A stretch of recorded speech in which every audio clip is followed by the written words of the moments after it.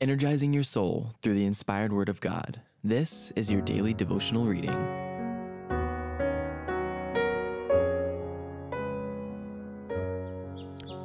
This Day with God, a devotional by Ellen White, October 5th. The Great Commandment. God's command to love each other is required of everyone, showing mercy to one another mirrors his redemptive plan. In compassion, he has given of his love that is divine. On the cross, sins were forgiven. Joy and peace are fully thine. The Great Commandment. Master, which is the great commandment in the law? Matthew chapter 22, verse 36. Supreme love for God and unselfish love for one another. These are the two great arms upon which hang all the law and the prophets. A good tree produces good fruit. The evidence of love for Christ is the manifestation of love for one another. Unselfish love for those around us is placed among the brightest evidences of true religion. By it, a daily witness in Christ's favor is borne to the world. The appetites and passions must be subdued and controlled, that the nerves may be steady and the brain able to see duty clearly. This can be done through divine grace.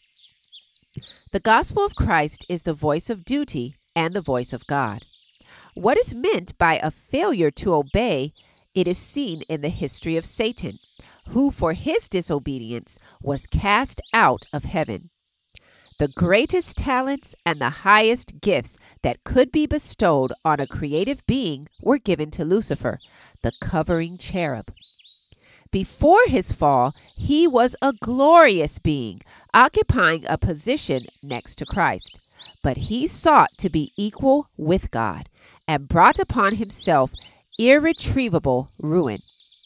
With this lesson before us, let us hide ourselves in Christ. He is the source of all wisdom, all intelligence, all power.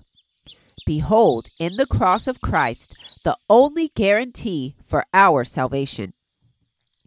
Behold, the Savior giving his life for us that we might be Christians. Those who strive to live the life of a Christian are battling against the devil's lie. Can we doubt the result of this conflict? God lives, God reigns, and daily he is working his miracles. They that are Christ's have crucified the flesh with the affections and lusts. Galatians chapter 5 verse 24. Before the world and the heavenly universe, they give evidence that they are trying to live out the words whatsoever things are true, whatsoever things are honest, whatsoever things are just, whatsoever things are pure, whatsoever things are lovely, whatsoever things are of good report. Think on these things. Philippians chapter 4 verse 8. Love, joy, peace, long suffering, gentleness, goodness, faith, meekness, temperance. These are the fruits of the Christian trees.